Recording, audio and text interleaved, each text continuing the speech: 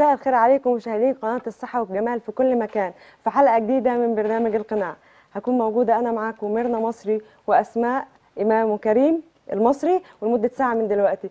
إزيك يا أسماء؟ إزيك يا مرنا إزيك يا كريم؟ أهلا وسهلا بيكم واهلا بكل المشاهدين وخلونا نكمل مع ميرنا بفقرات برنامج النهارده. النهاردة الفقرات آه، حلوة قوي بس أنا أحب إن أسماء تبدأ الفقرات. أهلا بكم مشاهدي قناة الصحة والجمال في لقاء يتجدد كل يوم خميس الساعة الثانية مساء.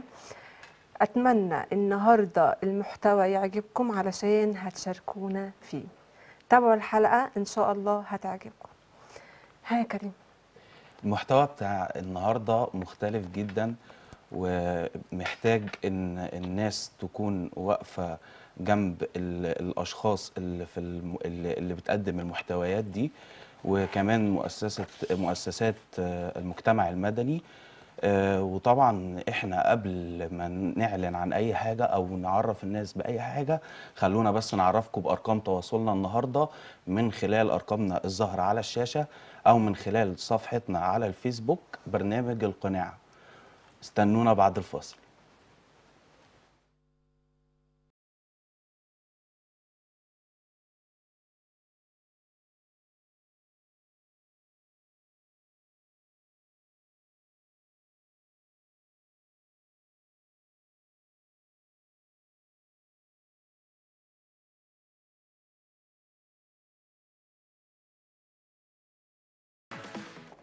ورجعنا لكم بعد الفاصل.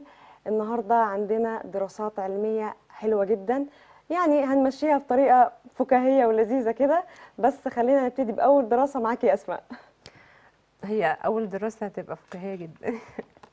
هو الناس ليه بتخاف تعطس؟ يعني ليه بيحسوا إنه مثلا هو طبعا الموضوع يعني يضحك, شوية أو الموضوع يعني المفروض ان مثلا أو حد قاعد في وسط ناس أو قاعد في اجتماع أو مش عارف إيه فعايز يعطس. يقول لك لا أنا ما عطست ده برستيج مش عارف إيه. طب لو عرفت إن أنت آه، كتمتك للعطسة أو الدراسة اللي معانا النهارده إن العطسة لما بتتكتم بيبقى في احتمالية آه، إنك تعاني من مشكلة كبيرة قوي في ال- في ال- الأوعية الد- الدموية أو في دماغك.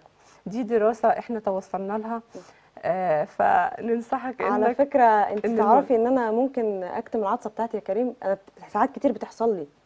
آه، يعني دي مصيبة أنا اكتشفت مؤخرا إن دي مصيبة. آه، المش... دي مشكلة المفروض إن إحنا ما نعملهاش. دي حاجة المفروض إن إحنا ما نعملهاش ودي وبيقول لك ال- أو الأطباء بيقولوا إن مهما كان أي سبب ما تكتمش العطس العطسة بتاعتك. طيب. طيب آه، في دراسة كمان بتقول يا كريم إن الخوف ممكن يوصلك لقرار لقرارات آه، غير صائبة. وقرارات تخليك تتنازل عن حاجات كتير لمجرد إن عقلك الباطن بيهيئ لك الفشل وهو اللي بيوديك على أول طريق الفشل. خلي بالك كمان إنه أحيانا بيعمل العكس. يعني أنت لو تعرضت لموقف إنك واقف قدام أسد حاجة من الاتنين يا هترتبك وتلفت انتباهه فهياكلك يا إما هتجري وقد تظهر عليك سرعة غير يعني مش م مش موجودة في في الدنيا كلها فتقدر تتصرف. فهنا آه هنا بت- بتقف بقى على آه، طريقة تصرف الشخص نفسه. فالأمور دي بتبقى على حسب الشخص وخبراته وهل هو جريء هل هو شجاع هل هو خلينا بقى يملك نخش إيه؟ في موضوع الجراءة بقى لأن موضوع بقى الجراءة ده محتاج مننا فكر شوية بالنسبة للرجالة يعني. بيقول لك إن الست النك... الست هي الأساس النكد في البيت. أنا مش مقتنعة بالموضوع ده على فكرة يا أسماء يعني ولا أنا. ولا أنت إيه رأيك يا كريم؟ هو أنا رأيي- مقتنع. يعني أنا رأيي بيقول إن في نظرية بتقول إن الست لو لبست أحمر وهي خارجة مع الراجل هتاخد كل ما تتمنى بدون ما تطلبه.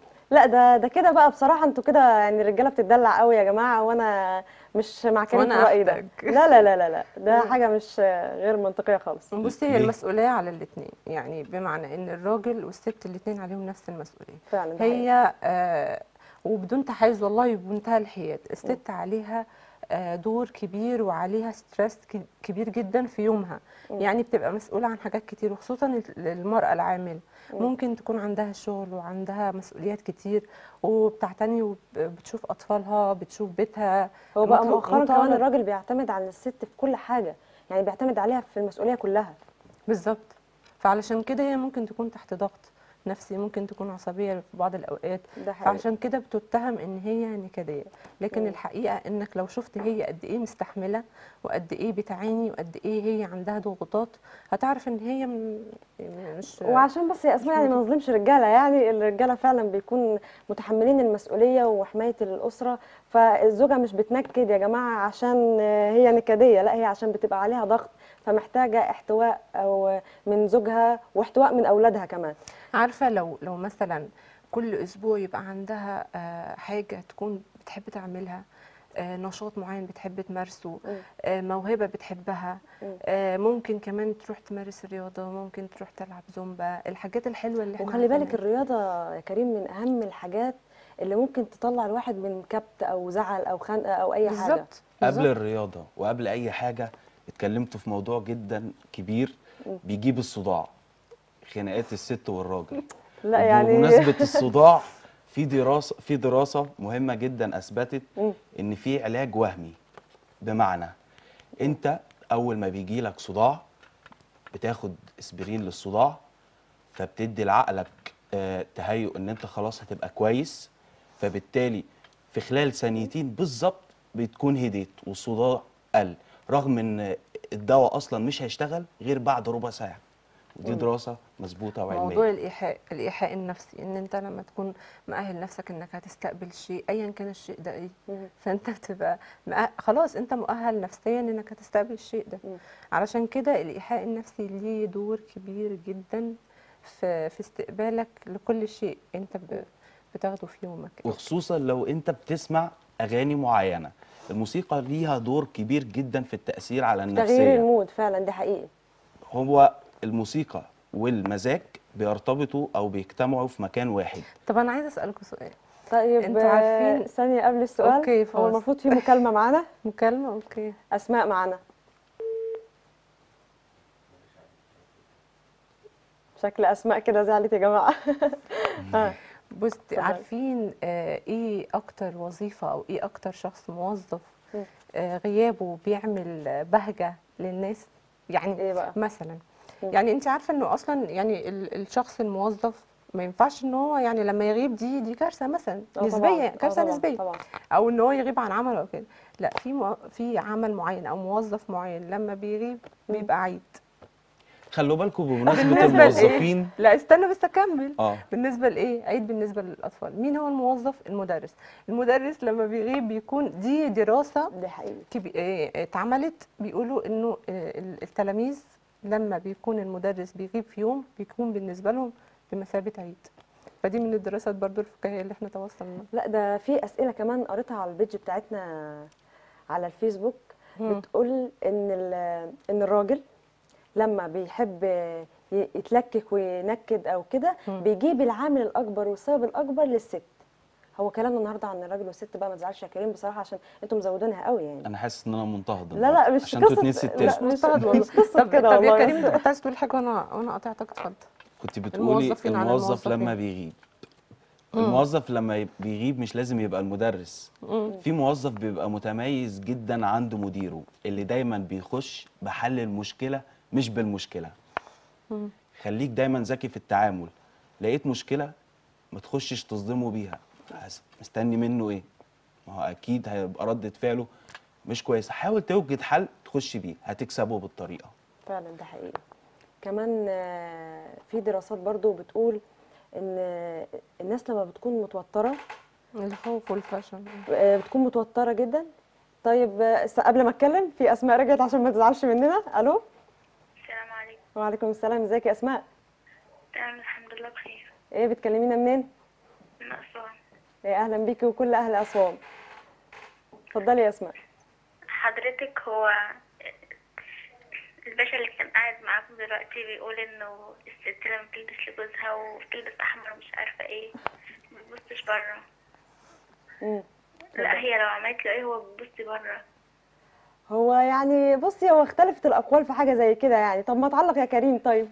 بصي هو أنا يعني آه، ما اتكلمتش على موضوع إنه يبص بره أو جوه. أنا اتكلمت على إن أنت آه، اجذب اللي قدامك هتلاقيه بينفذ كل طلباتك أو رغباتك. أنا اتكلمت وهي خارجة معاك. خلي بالك مش. مش وهي جوه البيت.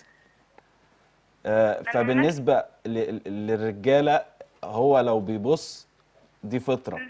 لو ما بيبصش فخلاص. يعني فهي دي بتبقى فطرة عنده لكن هو نادرا ما يكتسبها قدام يعني. طيب يا أسماء أنت عندك مشكلة معينة أو تجربة تحبي تحكيها لنا؟ آه.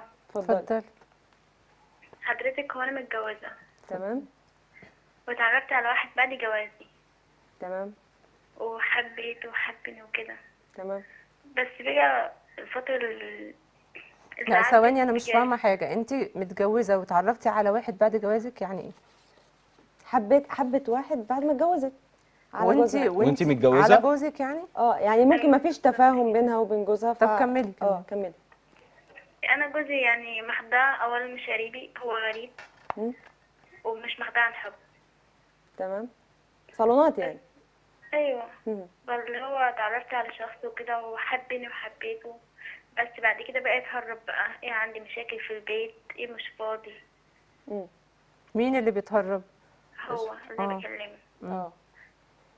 طب يا أسماء. انت انت إيه اللي جذبك للشخص ده؟ وهل انت لما حسيتي بمشاعر ناحية الشخص ده ما كانش عندك مشكلة إنه انت ست متجوزة وعندك بيت وعندك زوج وإن ده غير متعارف عليه مثلا في مجتمعنا ولا في ديننا ولا الكلام ده؟ يعني إيه إحساسك؟ وليه سبتي نفسك وما عملتيش كنترول عليها من الأول؟ حساكي ما عندكيش آه، تعب العزيمة لحاجة زي لا كده أنا يعني. حاسة إن هي ما عندهاش هل هو مثلا أخطأ في حقك خطأ كبير لدرجة إنك حاسة إنك عايزة تنتقمي منه مثلا في إنك تشوفي حد تاني أو تتعرفي على شخص تاني وتكني له هو مشاعر ما بتكنيلهاش ل- لزوجك أو كده؟ بصراحة لا هو جوزي يكون محترم معايا وكل حاجة وما بيغلطش فيا ولا أي حاجة. مم. بس أنا مش حابة. أنا بحب واحد تاني. يبقى ما عندوش. مشاعر يعني. ده رأيي يعني الشخصي ان المفروض إن انت تنفصلي. مم. يعني أنا حاولت أعمل كده كتير راحوا لما لما طلبت من أمي وأبويا إن أنا لأ أنا عايزة أسيبه. حاول إن هم يسمموني. أسماء أنت؟ عندك ولاد مخلفة؟ حاول إن هم يسمموني. أنت عندك كام سنة يا أسماء؟ عندي 18 طب جاوبي على كريم كده. أسماء أنت 18 مخلفة يا أسماء؟ لأ. أنت منين يا أسماء؟ من أسوان عارف من. أسوان مم. طيب. سنك انت صغير اتجوزتي وانت عندك إيه؟ كام سنة يا أسماء آه بالظبط ده نفس السؤال أسماء اتجوزتي. وانت عندك كام سنة أنا اتجوزت هي دلوقتي هي شهرين يعني وانت عندك 18 سنة طب يا أسماء ده انت لسه يعني ما ما عاشرتوهوش عشان تقولي كده يعني على واحد فاهماني. يعني ممكن المشاعر اللي بتحكي عليها لسه هي بتيجي مع مرور الوقت مع يعرف طبعك تعرفي طبعه يمكن عشان الجواز لسه يعني أنتوا مش متعرفين على بعض قوي فانت عشان حاسة الإحساس ده فانت تسرعتي انت متجوزة بقالك شهرين انت تسرعتي ان انت تعرفي على حد جديد وتحبي حد جديد في خلال شهرين ده مش اسمه حب يعني ممكن اسمه تعلق أو اسمه إن انت شايفة حاجات في شخصية تانية مش موجودة في اللي معاكي هي غالبا. بس أنا حابة إن أنا عنه بس مش عارفة وبرجع أكلمه وبرجع يهزقني وبيقول لي ما تتصليش بيا تاني ومش عارفة أعمل إيه مش عارفة بجد أعمل إيه. خدي بالك يا أسماء يعني لو كنت متابعانا في الحلقة اللي فاتت أنا اتكلمت عن على موضوع الكرامة. ما كرامتك أهم شيء. يعني كرامة أي إنسان. انت ما ينفعش انت ربنا خلقك عشان تبقي معززة مكرمة. مش عشان حد يهينك أو يتجاهلك. بس هي بتقول إن ما بيعملها كويس وراجل محترم. لا مش لا، هي جوزها بتقول على بتتكلم دلوقتي. على اللي هو بي- هي أصلا. هي الموضوع اللي هي فيه هي آه، هي صغيرة جدا. وعلى فكرة إحنا عايزين نسلط الضوء على موضوع الجواز في سن مبكر. إحنا قبل ما نعلق يا أسماء بعد إذنك إحنا عايزين برضو نكمل مع أسماء. ماشي. آه. إحنا بنكمل معاه. ما هي سامعانا. طيب، هي سمعان أنت معانا أسماء. أسماء؟ أيوه سامعاك.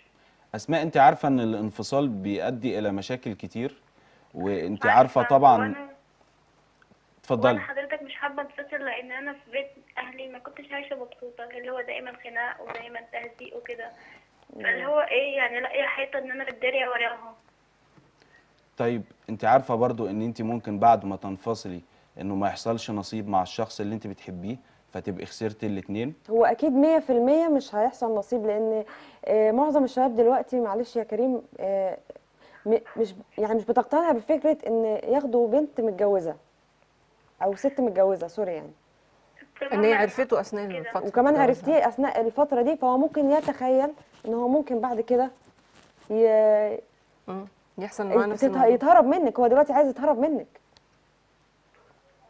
بصي يا أسماء هو دلوقتي اللي, اللي بيحصل معاكي هو شايف فرصة كويسة إن هو بيكلم ست أو بنت ومعلوش أي أدنى مسؤولية مش هتقدري دلوقتي تقولي له تعالى تقدم لي آه. لانك انت أساسا متجوزة فهو بالنسبة له الموضوع ده كويس جدا لأنه طبعا مش مش حاجة كويسة خالص إنك تعرف إن دي ست متجوزة و- و- وتخش معاها في علاقة حب أو هو غيره. كمان ابتدى يتهرب منها دلوقتي على بناء على كلامها. وبعدين ده فترة قصيرة يعني انت انت ده مش حب. خالص خالص خالص يا أسماء. اتنين. نهائي. انت اتعلقتي بحد اتعلقتي بتصرفاته اتعلقتي ب- بطريقته في باهتمامه. الكلام بالظبط هو اهتمامه في حين إن الشخص الآخر مش مديك الاهتمام. فده زيادة. انت على فكرة ممكن ما تبقيش بتحبيه. انت لسه مش عاشرتيه. آه يعني آه، أنا عايزاكي يا أسماء ترجعي تفكري وشكرا ليكي يا أسماء. و بصي. موضوع كبير جدا إن دي بنات صغيرة آه، بيضحك عليها بسرعة. واحد بيقول لها كلمتين آه، وهي بس هي بتندمج. بتقول إن جوزها بيعاملها ب- بشكل محترم والكلام ده كله. أنا عايزة أقول لك على حاجة يا اتفضلي. مريم. دلوقتي هي أكيد في سبب. ليه؟ لأن شهرين. يعني هم لسه في الهاني ما هي أسماء ما عرفتوش. اسماء- هي ما تع- كده ما لا هو مش قصدي. أنا قصدي إنه هو أكيد ما فيش اهتمام كبير من جوزها. أنا مش بديلها مبرر. هي غلطانة. لكن أكيد في سبب هي هي فين الفترة اللي هي لحقت تعرفه فيها. أكيد في عندها كده عندها مساحة. المتعارف عليه إن الزوجين في الفترة دي بيكونوا قريبين جدا من بعض. بيكون ما. عندهمش مساحة حتى يتصلوا بقرايبهم يكلموا مع حد. فده أكيد هو مشغول عنها انشغال تام. وهي أنا ح- أنا شايفة إنه ال- المرحلة دي. في حياة البنت بتكون مرحلة تجارب ومرحلة هي فيها صغيرة مرحلة جدا. مراهقة. معانا مكالمة من. أسوان تاني برضو مش عارفة. دوابة من أسوان. أيوه دوبه من أسوان. السلام عليكم ورحمة الله وبركاته. وعليكم وعليكم السلام. إزيك يا دوابة؟ وإزاي أهل أسوان كلهم؟ والله أهل أسوان كلهم بيسلموا على حضرتك. ربنا يخليكي. آه، دلوقتي حضرتك معلش أنا بتصل بس عشان أعلق بال- على ال- المكالمة اللي قبل كده. آه اتفضلي. آه، حضرتك ما فيش حد منضبط اخلاقيا ونفسيا يساير واحدة متجوزة. عندك حق ده حقيقي. مظبوط، وده اللي أنا قلته حضرتك. وعلقها علقها وبقى يكلمها وبعدين بقى يقول لها أنت ما تتصليش بيا. ده دليل على إنه ده إنسان مش منضبط. واساسا أصلا كون إنه يتساير مع واحدة متجوزة ده واحد مش مظبوط. يا ريت أهلها يرقوها لعلم حضرتك الرقية دي سبحان الله يعني سر فيها سر من أسرار سبحان الله الشفاء ده حقيقي ده حقيقي طبعا. يا الناس هيرقوها وهي تتقي الله في أهلها وفي ناسها وفي سمعتها وفي سمعة ناسها. والله حضرتك يعني لخصتي عشان ما تجيب كلام لهمش تجيب لنفسها وتجيب لأهلها الكلام. هي برضه صغيرة قوي قوي يعني. ممكن ما أيوة تكونش. بتعقل الكلام ده. حضرتك الولية الولية صغيرة ولا كبيرة السمعة دي أهم حاجة. حقيقي يا صحيح. أستاذة دوابة إحنا المفروض يعني. المفروض نلتفت ل... ل... لدور الأسرة إنه ما ينفعش نجوز بناتنا في سن صغير. لازم آه، يكون سنهم مؤهل أو يأهلهم إن هم يتحملوا مسؤولية. يعرفوا يعني إيه بيت يعرفوا يعني إيه أطفال يعرفوا يعني إيه مسؤولية زوج. فدي برضو ده برضو غلط كبير على الأسرة إن إحنا بنستعجل جالها عريس مناسب فيلا نجوزها. ده برضو حاجة مش مش لطيفة يعني. طيب شكرا لحضرتك. شكرا. العفو لحضرتك مع ألف سنة هو في حاجة مهمة برضو فين دور الأم في الموضوع؟ معانا كريم زينة من القاهرة الموضوع شكله شائك أهلا يا زينة منورة خط اتفضلي. فصل خط فصل. فين دور الأم في الموضوع؟ لا الموضوع بقى يا جماعة بصوا بقى موضوع البنات اللي بتتجوز صغيرة دي وبيكون أصلا أساسه أصلا من البيئة اللي هي المحيطة فيها ده موضوع كبير و- وبقى كتير قوي الأيام هو يقول. لك 18 و17 سنة مش لا. صغيرة. لا يا جماعة لا صغيرة. صغيرة صغيره وصغيرة جدا. دلوقتي في الزمن اللي إحنا فيه ده صغيرة جدا وما تعقلش أي أمر من الأمور اللي بتطرح عليها. هي أصلا لما حتى أهلها بيتناقشوا معاها في مشكلة خاصة بيها بت... بترفض لا أنا مش عايزة ده أنا عايزة ده. الزمن اللي إحنا فيه دلوقتي والتكنولوجيا اللي, وصل... اللي وصلنا لها محمود من سوهاج. السلام. عليكم وعليكم السلام. ازيك يا محمود؟ أهلا وسهلا. أهلا بحضرتك. لازم أنا كنت عايز اتكلم في موضوعين آه اتفضل. آه، موضوع النكد اللي كان الاستاذ كريم بيتكلم فيه. هتبقى معايا بقى محمود. آه معاك طبعا. هم كين عليك بصراحة. اتفضل معاك آه، م- هي ميرنا بتضحك؟ ليه ميرنا بتضحك؟ أنا شايفها في الشاشة. إيه لا ابدا ما فيش أي حاجة يا أستاذ محمود. آه طيب. استاذن حضرتك أستاذ كريم موضوع النكد اتفضل. ده راجع إلى التوافق الفكري ما بين الزوج والزوجه صحيح. هو هو الموضوع مش موضوع إن إن الراجل مقصر أو الست مقصرة. هو الاختيار من الأول. آه. التوافق الفكري يؤدي دايما للاتفاق آه. ده فيما يخص موضوع النكد. فيما صحيح يخص المكالمة بتاعت الأخت بتاعت أسوان. مم. مم. سنها الصغير غير مؤهلة للزواج بدري. مدة شهرين غير كافية للتعارف على زوجها أصلا صحيح. عشان تبقى كافية للتعارف على الشخص الآخر. صحيح. بالظبط. ده غير إن أنا بضم صوت صوت الست اللي اتكلمت آه، قبلي. مدام آه، الام- آه بالانفلات الأخلاقي فيما يخص الشخص اللي عمل الموضوع ده. بس في مشكلة تانية معلش بقطعك يا أستاذ محمود إن في برضو ممكن شباب تاخد قرارات وهي صغيرة بتندم عليها لما تكبر. صحيح؟ مش البنات بس برضو حضرتك ممكن بس آه، توطي صوت الموضوع ده التلفزيون بالاثنين أكيد يعني طبعا. ما هو أنا. قلت أنا قلت كده في كلامي من الأول التوافق الفكري آه. طبعا صحيح. آه فاذا كان في اختيار كويس من الأول مفيش ندم على القرار. صحيح بس التسرع برضو يا أستاذ محمود بيؤدي لنتائج آه، مش حلوة. وعلى فكرة في ناس كتير قوي بتدي الوكالة لأهلها إن هي تجوزها تعرفي الموضوع ده؟ آه حق- يعني طيب حقيقي. شكرا يا أستاذ محمود. اتصالات كتير قوي النهارده والموضوع شائك. إحنا عايزين نرجع للدراسات. لا ده ده كده الموضوع كبر وتعدى الدراسات. لا يعني- في في في برضه دراسة بما إننا بنتكلم عن الرجالة والستات وإحنا دلوقتي الرجالة هت- هتصدم من ال- الدراسة دي. بيقول لك إن في إن الإنسان لما بيكون في بطن أمه بيقعد ست أسابيع أنثى. أي- كلنا. الراجل حتى الراجل آه. ما تبصليش يا كريم والله أنا بتكلم كده. دراسة طيب آه معنى كده دينا من القاهرة شكل الموضوع كبير عشان كده بقول لك. دينا ازيك يا دينا؟ يا دينا. ألو. ألو؟ أيوه أيوه يا دينا؟ زينة سوري. ازيك أهلا يا يا زينة؟ زينة اتفضلي. مساء الخير الأول. مساء النور النور عليك. عليك. أنا على فكرة بلديات البنت اللي كانت بتتكلم من شوية. اللي هي مين؟ مين؟ اسوان برضه بس أنا موجودة في القاهرة دلوقتي بس عايزة أنصحها نصيحة واحدة. آه انت قربتها من أسوان بقى. أجدع ناس. أجدع ناس. تعرفيها يعني؟ لا لا لا للأسف okay، ما من نفس البلد. من نفس البلد. نفس okay اتفضلي. اتفضلي. آه على فكرة أنا اتجوزت في سنها برضه 18 سنة على فكرة وما كملتش. آه كنت عيلة وعارفة كويس جدا إن هو ما ينفعش في الوقت ده بس إحنا محتاجين الكلام ده لأهالينا. للأسف بس مفيش طبعا. مش بيسمعوا. آه سبته طبعا واتجوزت تاني وبرضه سبته بس نصيحة ما تصدقيش أي مخلوق خلقه ربنا يقول لك بحبك. والله العظيم مش هتلاقي أحسن من جوزك. صحيح. والله العظيم تاني فعلا. يعني مش هقول لك حرام هو طبعا حرام بس انت مش هتسمعي ده انت هتسمعي لحاجه واحدة بس. بصي لأهلك دي حاجة الحاجة التانية. بصي لنفسك هتلاقي نفسك بتختاري كل حاجة. وإحنا عندنا البنات في الصعيد بتتطلق من هنا بتتركن في البيت من هنا.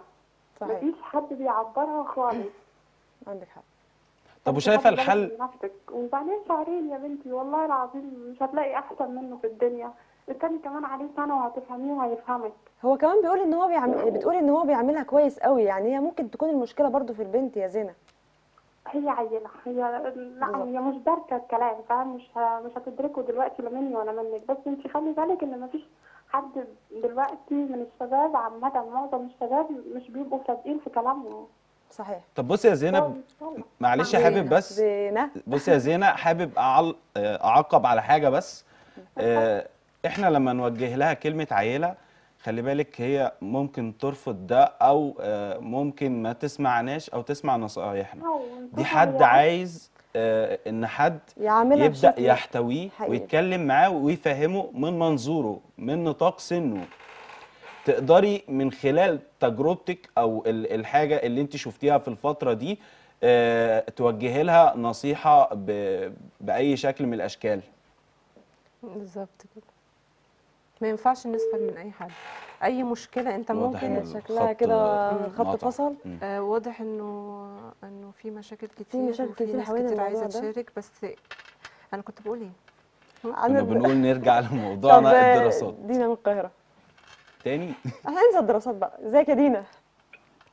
دينا ولا زينة بقى؟ دينا بقى. دينا المرة دي. ألو؟ ألو؟ دينا. شكرا اتصالاتها واضح الموضوع آه، هامم هو ناس الموضوع كتير كبير قوي يا. أسماء.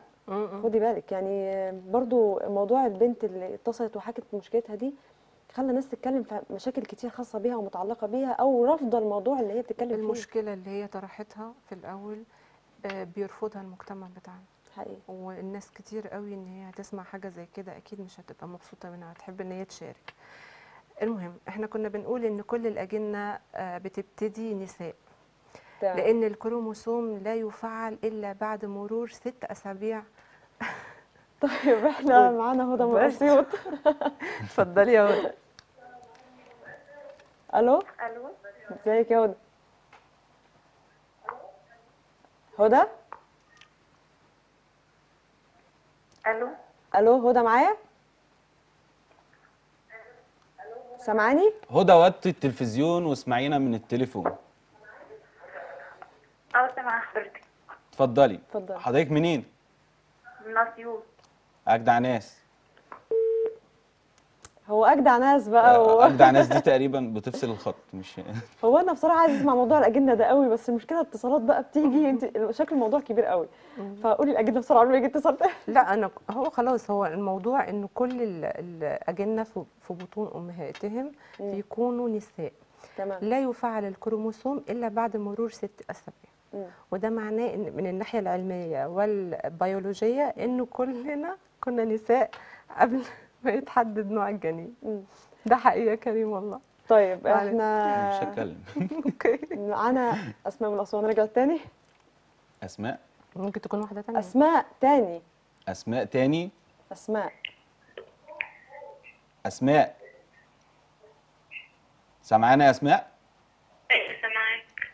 إيه رأيك في الكلام اللي سمعتيه أو. التعقيب ال- اللي عقبه الناس على الموضوع؟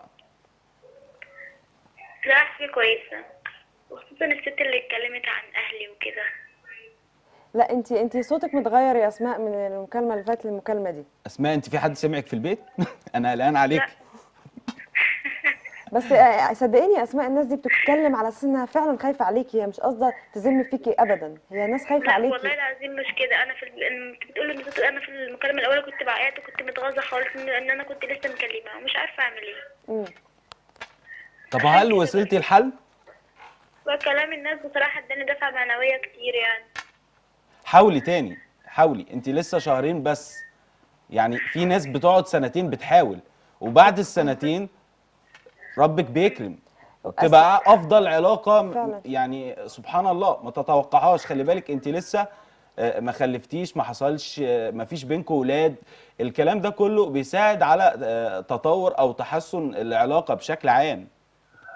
فما تحكميش على الحاجة من دلوقتي لأنه يعتبر إن أنت بالمدة الزمنية دي أنت لسه براها. في حين إنك حكمتي على حاجة أنت فعلا براها اللي هو موضوع الشاب التاني. على الأقل ده راجل ومتجوزك. تضمني منين إن الراجل التاني يتجوزك؟ فعلا. وعلى عايزة أقول لك على حاجة يا أسماء آه، معلش اني قطعت كلامك. عسى أن تكرهوا شيئا وهو خير لكم. فما تكرهيش عيشتك مع جوزك لأن ده ممكن يكون خير ليكي ولا إيه يا أسماء؟ لازم البداية إن هي تقطع علاقتها بالشخص التاني. دي البداية عشان تقدر تشوف النور اللي في حياتها. الشخص أو علاقتك بالشخص ده هو اللي مضلم حياتك ومغمي عينيكي عن حاجات كتير قوي ممكن تكون حلوة. انت مش شايفاها فخدي القرار اتخذي القرار ونفذيه. خلي بالك هو بيلعب على نفسيتك. انت بتحكي له كل اللي بيحصل معاكي في البيت ده في الغالب بنسبة كبيرة. بيقوم هو عامل إيه؟ معوض الكلام دوت. يعني انت بتقولي له هو ما بيهتمش بيا فيبدأ يهتم بيكي. هو ما بيسألش عليا فيبدأ هو يزود من سؤاله عليكي. فانت تلاقي إن كل النواقص طيب. اللي في مكان تاني موجودة عنده فتنجذبي ليه. طيب إحنا عايزين آه، هنطلع لفاصل. شكرا يا أسماء ليكي. هنطلع لفاصل ونرجع تاني.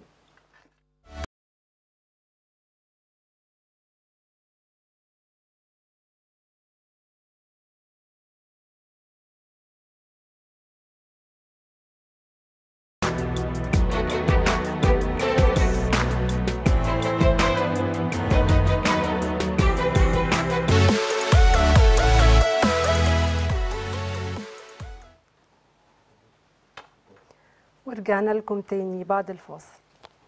كلنا محتاجين نفرح. وجودنا في حياة بعض مش سد خانة. كل واحد موجود في حياتك له دور وعليه مسؤولية تجاهك. انت كمان مسؤول وعليك دور تجاه كل شخص بيحبك. في استراتيجية كده أنا بستخدمها يمكن تستغربوها بس لو جربتوها هتدمنوها. كلنا في حياتنا هموم ومشاكل وأكيد يعني بنمر بحاجات آه، آه، مشكلات كتير بتخلينا مش عارفين نفكر بتخلينا في في مود وحش. لما تكون آه، دنيتك وحشة وحالك مش مش لطيف ومكتئب مستحيل تروح الطبيعي يعني إنك مستحيل تروح تشوف حد مهموم زيك أو عنده مشكلة بتقول أنا اللي فيا مكفيني أنت عندك حق اللي فيك مكفيك. وكلنا زي وكلنا زيك كلنا بنقول نفس الجملة حقيقي بالظبط. جربت بقى لو انت آه، يعني بسواد حالك ده رحت دورت على حد محتاج آه، مساعدة مادية أو معنوية وتعملها له؟ وانت قاعد امسك تليفونك بص كده في الستوريز اللي عندك.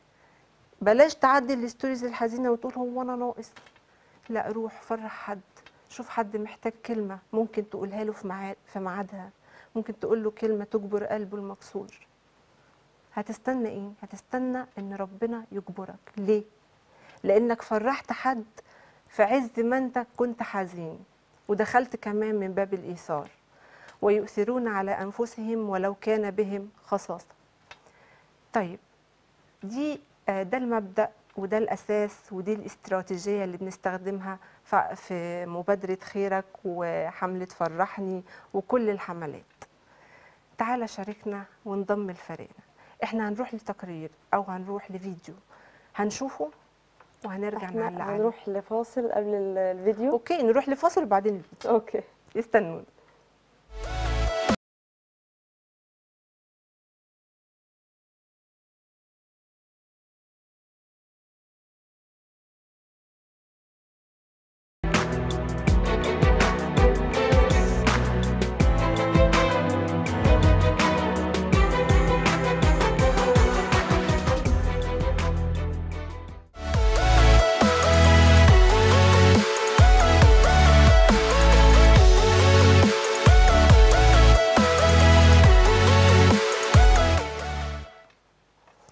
ورجعنا لكم تاني.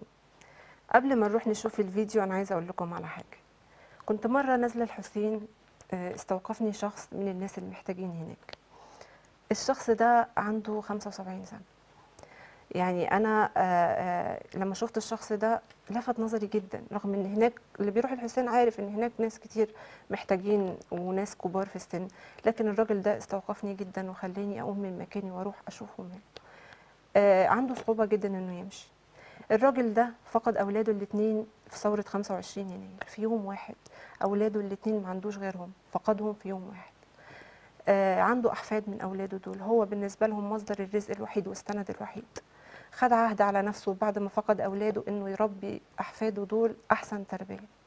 هو بالنسبة لهم زي ما قلت لكم مصدر الرزق الوحيد بينزل كل يوم يقفل عليهم الباب هم أطفال لسه. يروح يجيب لهم قوت يومهم يروح يجيب له يجيب مصاريفهم يجيب آه، إيجار البيت اللي هم قاعدين فيه وعايشين فيه. مش بس كده أنا عايزة ألفت نظركم آه، لحاجة آه، ويمكن دي من الأسباب أو ده سبب رئيسي في إن الشخص ده استوقفني جدا إنه كان بيشتغل مع صفوة المجتمع. الراجل ده كان طباخ للملك فاروق وكان بيشتغل مع أم كلثوم قعد فترة كبيرة وكان يعني يمكن كمان بيتصرف له معاش من بسبب شغله مع أم كلثوم. يعني كان بيشتغل مع صفوة المجتمع. وانتهى بيه الحال إنه من المحتاجين اللي بينزلوا من بيتهم كل يوم رغم إنه عنده تعب كبير جدا في رجله ومركب شرايح وسنه يا جماعة 75 سنة وبيمشي يكاد يمشي. أنا عايزاكم تروحوا تشوفوا الفيديو وهنرجع تاني.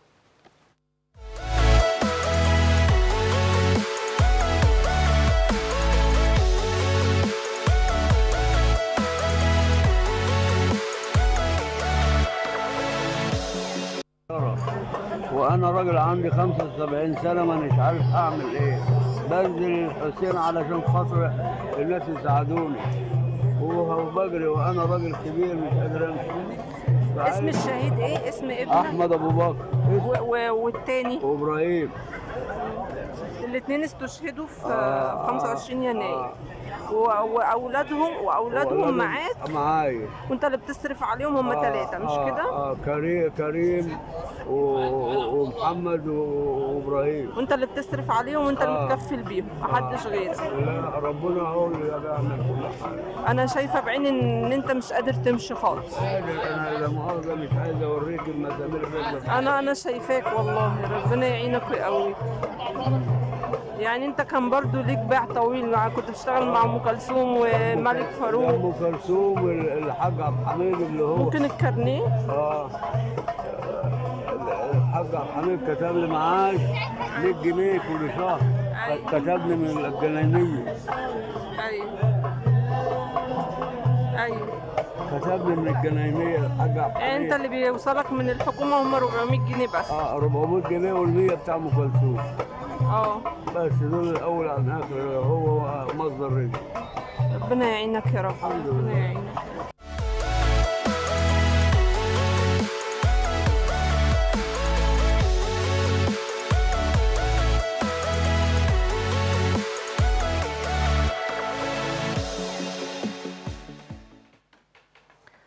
ورجعنا لكم تاني. طبعا شفتوا الفيديو معانا معانا فيديوهات كتير بس الاتصالات خدت وقت كبير من حلقتنا.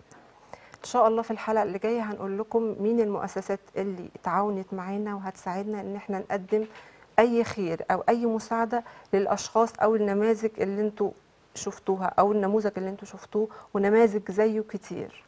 إن شاء الله الحلقة اللي جاية هنوريكم إحنا عملنا إيه بإذن الله. وإنتوا كمان هتساعدونا. زي ما قلت لو عايز تنضم لفريقنا وتبقى مشارك معانا بشكل فعلي تقدر تتواصل معانا عن طريق صفحة البرنامج برنامج القناع على الفيسبوك.